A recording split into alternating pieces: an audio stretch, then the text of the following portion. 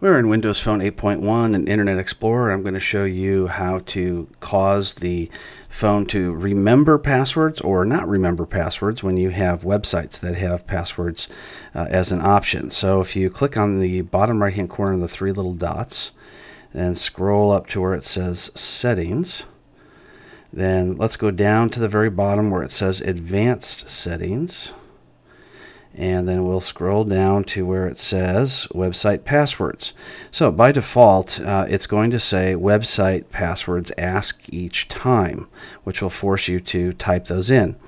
But if you uh, want to, you can click the remember option so that way you won't uh, have to type in those passwords every time you go to a web page. It will prompt you if you want it to remember the passwords, you choose yes. And then after that, you won't have to type your passwords every time. Now, this does have a security risk you should be uh, aware of, and that is if you lose your phone and somebody gets into your phone without needing a, a password because you may not have a password lock, then they'll be able to uh, see your passwords or and log into your accounts, which you may not want them to do. So uh, it is a bit of a security risk, but if you uh, want to do that, then uh, the remember passwords option is available.